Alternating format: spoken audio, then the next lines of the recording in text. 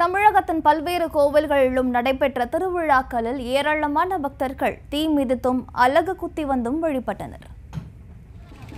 நீலகிரி மாவட்டம் கோத்தகிரி அருகே உள்ள குயின் சோலை முத்துமாரியம்மன் கோவில் திருவிழாவையொட்டி பால்குடம் பறவை காவடி ஏந்தி பக்தர்கள் ஊர்வலமாக சென்று நேர்த்திக்கடன் செலுத்தினர். கிரேன் மூலமாக பறவை காவடி எடுத்த பக்தர்கள் தூக்கி வரப்பட்டதை அங்கிருந்தவர்கள் கண்டு பரவசமடைந்தனர்.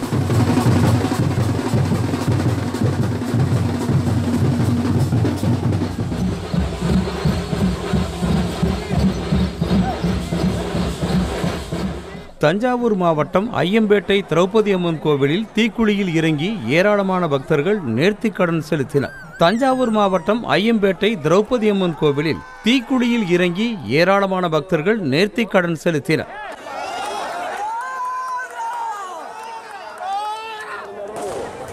நம் தெரு நம்ம கலாசிரியர் நாகை மாவட்டம் வேளாங்கண்ணியை அடுத்த புதுப்பள்ளி திரௌபதி அம்மன் கோவில் ஆண்டு திருவிழாவை முன்னிட்டு பக்தர்கள் தீ மிதித்து அம்மனை வழிபட்டனர். அப்போது அலகு குத்தி வந்த பக்தர்கள் ஆடிப்பாடி கோவிலை வந்தடைந்தனர்.